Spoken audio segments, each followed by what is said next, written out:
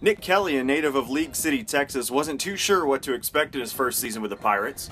However, he started off his career with a bang last season, earning SCAC Newcomer of the Year honors, as well as being named first team All League. It means a lot, honestly.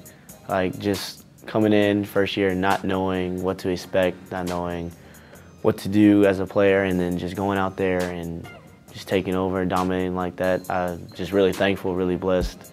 And Kelly isn't new to startup programs as his high school started their team while he was a freshman. Kelly recalls the early challenges of the Clear Falls football team. We didn't win too many games because uh, we were a new program, kind of like Southwestern was. I was a freshman when the when the school first opened. We came out. Our my very first game, we played against a varsity a varsity school um, team full of freshmen and sophomores, and from then on, I knew what I had to do to be successful and what I needed to do to accomplish to get my team to the playoffs and to just dominate. Kelly led the league in interceptions a year ago. This year he ranks fourth in the conference with three picks. And while he only stands 5 foot 7 inches tall, Kelly is a physical cornerback who loves to play man-to-man -man defense. Being me being the short guy, you know, they always tower over me, but first thing I do is I'm gonna check him. I'm gonna go up to the line. I'm gonna give him some to see how he reacts, and if see if he's quick or not. If he's quick, I might not bump him as hard. If he if he's not as quick, I might hit him the whole game.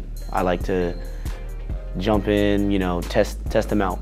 Kelly's roommate and fellow starting cornerback DJ Johnson thinks the duo works well together on the field. You know, Nik brings a lot to this team. The the versa the versatility that he brings. You know, he can you know, we can play man, we can play zone, you know what I mean? And, you know, we do a lot of other stuff, a lot of hustle stuff, you know, we chase down people, you know, so, you know, it's, it's a great thing to have a guy like Nik on your team and playing the opposite side of you, you know, it's, it's a comfortable feeling.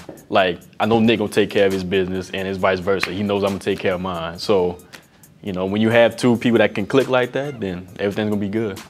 The Southwestern coaching staff recognizes Kelly's athletic abilities. Last week, the sophomore started on both sides of the ball against Trinity.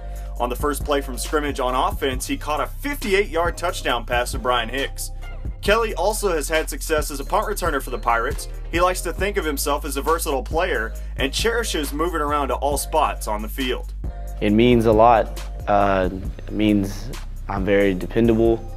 Um, I like to utilize what God's given me, just go out there and just be the best football player I can be. Like I really, to be honest, I really don't like having a set position. Like I, I love moving around the team, being just being like you said, a utility player, just being that guy that coaches and my players can call on and say, hey, Nik Kelly can get it done. He can do this.